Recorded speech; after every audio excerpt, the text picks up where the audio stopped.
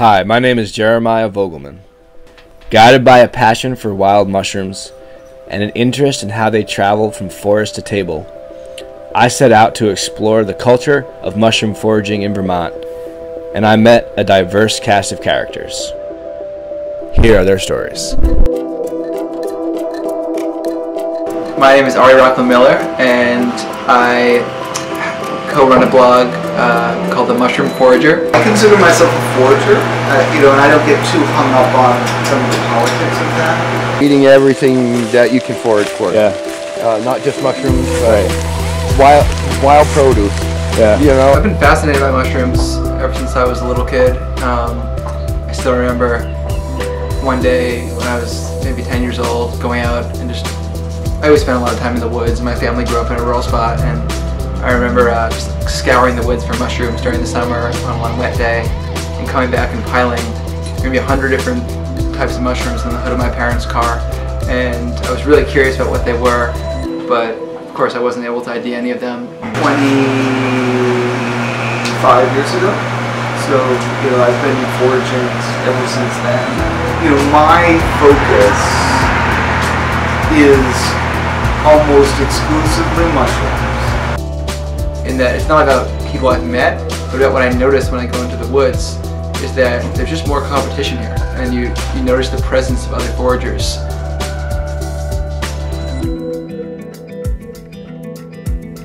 Oh yes, they have lots of black trumpet padgies. Um, but they like rocky area moss. Um, a lot of times they will grow around trees. Um, but it's got to be a certain certain condition. I mean, mushrooms are the fruit of an organism. They're more analogous to an apple on a tree than they are to the tree itself. So you're not uprooting the apple tree, you're merely picking the apple. Interesting part of the business because I've been sort of now known as much as the mushroom guy, but I also am the apple guy. I was taught by my grandmother. Um, she started us. She starts all of the, all her grandchildren out at three, when they can understand how to identify a mushroom or how to ask questions about mushrooms. hunter-gatherer heritage and learning how to look at the, at the forest in a new way and learning about forest ecology. And the real joy for me is teaching that to others and sharing that with others. So even if they're competing with me, I still think it's a net, net gain. Again, these are not one of the safest ones. There's some mushrooms that I'll say, once you've seen them with me, I'll set you free to find them on your own. I totally trust you. There's no no risk.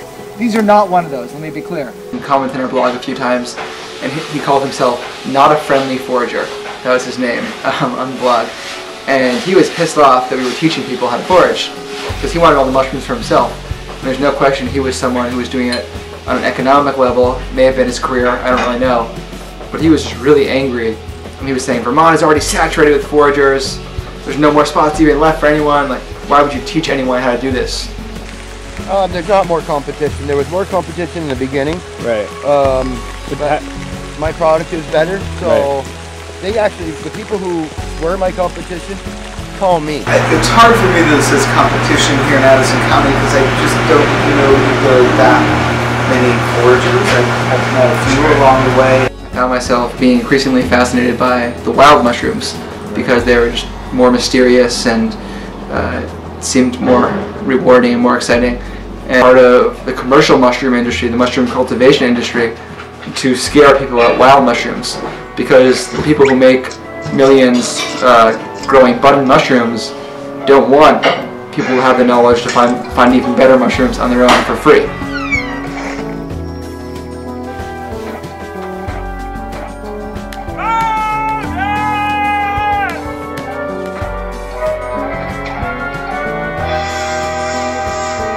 If somebody gets a mushroom that is not what they thought it was, was or they got sick from it, that your insurance will cover it. I have a liability insurance that if I pick the wrong kind of mushroom and sell it to you and you serve it, someone gets sick or dies, Right. that my insurance covers it and that way my customer is not liable for buying the wrong kind of product. Sure. I was still about 10 years old and didn't get too far with that either. Yeah. And I still have it to this day. Um, it's Gary Lincoff's Audubon Guide. My three-year-old knows what morels are, knows what black trumpets are, hen of the woods, Yeah. chicken of the woods. He pretty much knows them all, except for uh, the oysters he's not sure of. Right.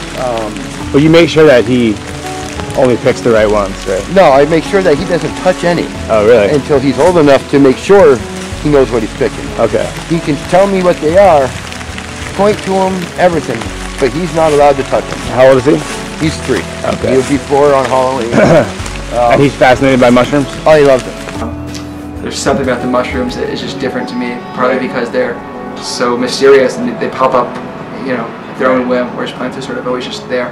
The eating the gourmet mushrooms is, is my focus, um, partly because I love to eat, I love to eat, I love good food, and there's so many incredible flavors out there. Um, also interested in the medicinal mushrooms. I think there's something really empowering about being able to find our own medicine that's lo- locally uh, grows in the wild in our forests right here. Um, You got to know that that person's got experience, Right. and you should know what you're picking or buying. Sure. You So- should. Yeah. And if you don't know what you're buying, they should be able to tell you what you're buying and how to cook it and where to look it up to make sure that that's exactly what you're getting. Do you think that foragers in the state should have to be certified? Yes.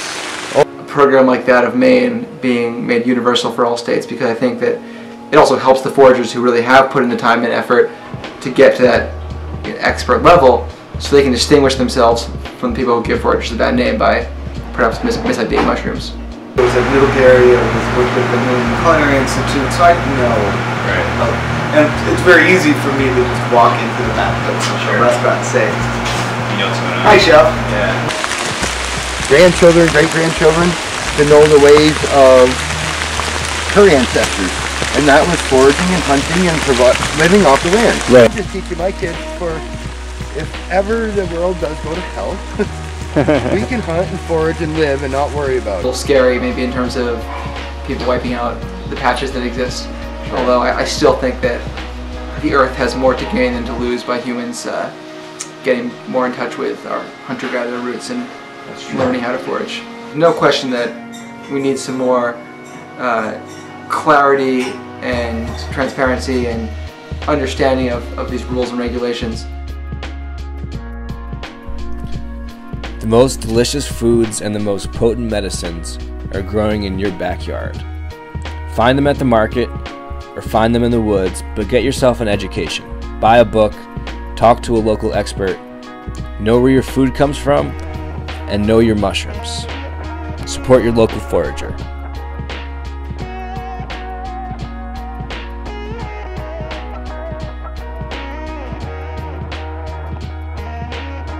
Yes, I love mushrooms. Yeah, of the wild variety. Yeah. I mean, I just love mushrooms of all varieties, really. But wild is always good. Yeah. They tend to be tastier. Yes. Mm-hmm. Yes. Those factory farmed mushrooms don't really have much taste. I know. So, how do you feel about wild mushrooms? I dig them, man. Yeah? They're so rad. Why is that? Cause, you know what They I mean? go crazy. Yeah. So you're you're in for like the you know the shamanistic, you know, mystical What experiences. does that mean? You know, I'm just trying to get loaded, man. yeah. How do you feel after you have a psychedelic experience? You feel I've never had a psychedelic experience. you feel uh, this is all confidential. Don't worry. Yeah, your, right. your name is not really known. Oh, okay. I don't even know what that word means. Is it, How do you uh, spell psychedelic? I think it starts with a H. Yeah, you're. I think you're on something. Know. Can't even How do you feel right now? I feel great. I feel hungry. Hungry for?